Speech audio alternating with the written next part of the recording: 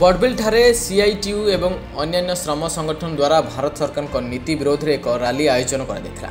ଶହ ଶହ communist party କର୍ମୀ ଫ୍ଲାକାର୍ଡ ଏବଂ ପୋଷ୍ଟର ସହ ସହର ତଥା ଏହାର ଆଖପାଖରେ ପଦଯାତ୍ରା କରିଥିଲେ। ସେମାନଙ୍କ ଅନୁଯାୟୀ ଗତ ଦୁଇ ବର୍ଷ ଧରି କରୋନା ମହାମାରୀ ଯୋଗୁଁ ରାଜ୍ୟବାସୀ ବହୁ ଅସୁବିଧାର ସମ୍ମୁଖୀନ ହୋଇଛନ୍ତି।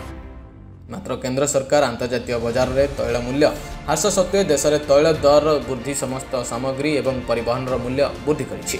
ପେଟ୍ରୋଲ ଏବଂ ଡିଜେଲର ମୂଲ୍ୟ ବୃଦ୍ଧି ଯୋଗୁଁ ମଧ୍ୟମ ଏବଂ ନିମ୍ନ ବର୍ଗର ଏକ ବୃହତ୍ ଜନସଂଖ୍ୟା ଏହାର ଦ୍ୱାରା ପ୍ରଭାବିତ ହୋଇଛନ୍ତି ଲକ୍ଷ ଲକ୍ଷ ଶ୍ରମିକ ଦିନ ମଜୁରିଆ ଶ୍ରମିକ ଅସଂଗଠିତ ଶ୍ରମିକ ଛୋଟ ଦୋକାନ ପରିବହନ ଶ୍ରମିକମାନେ ରୋଜଗାର ହରାଇ ସେମାନଙ୍କ ଜୀବିକା ପରିଚାଳନା କରିବା କଷ୍ଟକର ହୋଇପଡ଼ିଛି ଏହି କରୋନା ଅବଧିରେ କେନ୍ଦ୍ର ସରକାର କୃଷକ ଶ୍ରମିକଙ୍କ ବିରୋଧରେ ଆଇନ ପ୍ରଣୟନ କରି ଚାଷୀଙ୍କ ମଧ୍ୟରେ ଅସନ୍ତୋଷ ସୃଷ୍ଟି କରିଛନ୍ତି। ନୂତନ ଶ୍ରମ ସଂହିତା କୃଷି ଆଇନ ଏବଂ ବିଦ୍ୟୁତ୍ ଘରୋଇକରଣ ବିଲ୍ ରଦ୍ଦ କରିବାକୁ ସେମାନେ ଦାବି କରିଛନ୍ତି। ବେସରକାରୀ ଶିଳ୍ପପତି ଏବଂ ବ୍ୟବସାୟୀଙ୍କୁ ସରକାରୀ ଉଦ୍ୟୋଗ ବିକ୍ରୟ କରିବାକୁ କେନ୍ଦ୍ର ସରକାର ଉଦ୍ୟମ କରୁଥିବାରୁ ଏହା ଜାତୀୟ ବିରୋଧୀ ନୀତି ବିଚାର କରି ଏହାକୁ ସମଗ୍ର ଦେଶ ବିରୋଧ କରୁଛି। ସ୍ୱାଧୀନତାର ସତୁରି ବର୍ଷ ପୂର୍ବରୁ ସାତ ଅଗଷ୍ଟ ଉଣେଇଶହ ବାଇଶରେ ବିଦେଶୀ ଶାସକମାନଙ୍କ ବିରୁଦ୍ଧରେ ଭାରତ ଦିବସ ପାଳନ କରାଯାଇଥିଲା। ଆଜି ଏହି ଶୁଭ ଦିନରେ ଆମେ ସରକାରଙ୍କୁ ଆହ୍ୱାନ କରୁଛୁ ସ୍ଥାନୀୟ ତଥା ପୁଞ୍ଜିପତି ଶିଳ୍ପପତିଙ୍କ ସ୍ୱାର୍ଥରେ ନିଜର ନୀତି ପରିତ୍ୟାଗ କରିବାକୁ।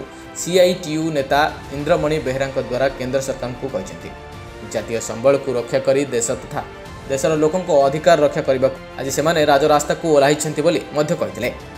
ବଡ଼ବିଲ ତହସିଲଦାରଙ୍କ ମାଧ୍ୟମରେ ବାରଟି ଦାବି ଦର୍ଶାଇ ସେମାନେ ଭାରତର ପ୍ରଧାନମନ୍ତ୍ରୀଙ୍କ ସପକ୍ଷରେ ଏକ ସ୍ମାରକପତ୍ର ପ୍ରଦାନ କରିଛନ୍ତି।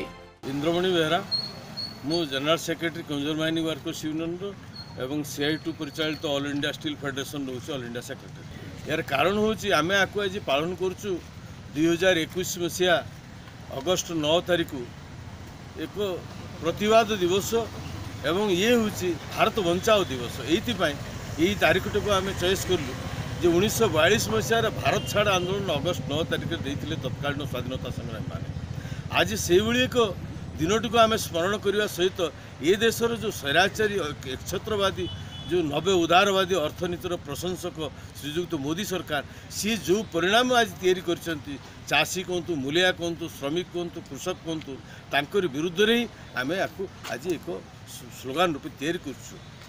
ଏ ସ୍ଲୋଗାନ ଭିତରେ ରହିଛି ଆପଣ ଦେଖୁଛନ୍ତି ଯେ ଏ ଦେଶର ସମସ୍ତ ସରକାରୀ ଉଦ୍ୟୋଗକୁ ସେ ବିକ୍ରି କରିକି ଦେଶୀ ବିଦେଶୀ ପୁଞ୍ଜିପତି ହାତରେ ଟେକିଦେବେ ଦେଶର ଧନ ସମ୍ପତ୍ତି କହିଲେ ମୁଖ୍ୟତଃ ହେଉଛି ଭୂଜମି ଭୂସମ୍ପତ୍ତି ତାକୁ ମଧ୍ୟ ପ୍ରାଇଭେଟ୍ କମ୍ପାନୀ ହାତକୁ ସେ ଟେକିଦେବେ। ଇଏ ହେଉଛି ସବୁଠୁ ବଡ଼ ସମସ୍ୟା।